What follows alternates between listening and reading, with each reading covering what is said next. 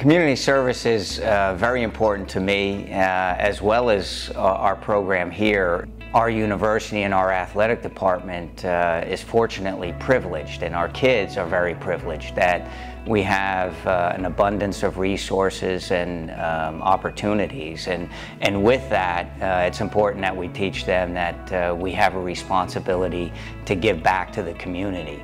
Well, the ACC Game Changer Award is the uh, highest award you can receive in the ACC for your community outreach. So uh, for our program, it was a tremendous honor uh, to receive that award.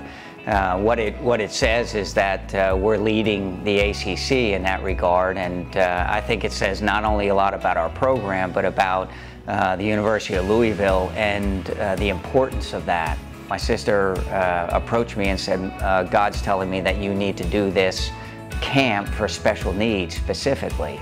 Uh, and uh, so the next year we started a, a, clinic, a camp for special needs kids that it started very small and what it did, it ended up growing into a, a pretty large event where we have uh, about 50 special needs and over 100 volunteers that come together on one day.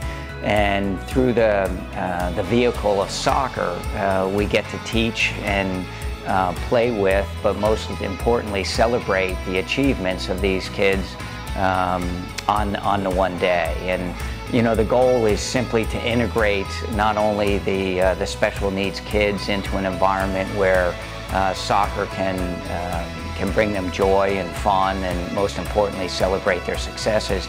But I think it's also an opportunity for our players and our community, our uh, University of Louisville athletic community to come together in support of the special needs kids.